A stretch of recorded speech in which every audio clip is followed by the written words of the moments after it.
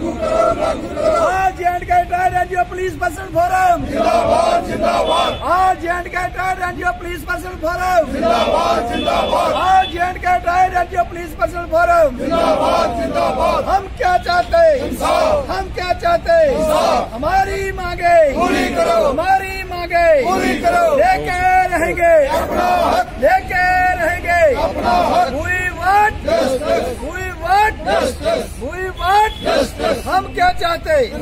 हम क्या चाहते?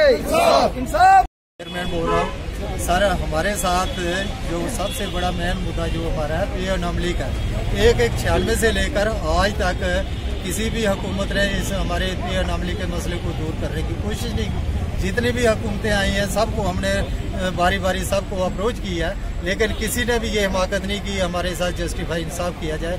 सब उन्होंने लारे वादे और जांचे ही दिए। तो मसले को हल करने की कोशिश नहीं की। अभी जो अब बीजेपी की हुकूमत आई थी, हमें उम्मीद की किरण जागी थी कि ये हमारे साथ इंसाफ करेंगे और दूसरों से ये हट के होंगे। लिहाजा जम्मू की जो नेशन की जो नेशनल क्रीम है, सबके साथ हम बारी बारी सबको अप्रोच किया, लेकिन किसी ने भी हमारे मसले को हल करने की कोशिश नहीं और उसके बाद गवर्नर साहब से भी हमने, लेफ्टिनेंट गवर्नर साहब को भी हमने आठ दस रिप्रेजेंटेशन दी है।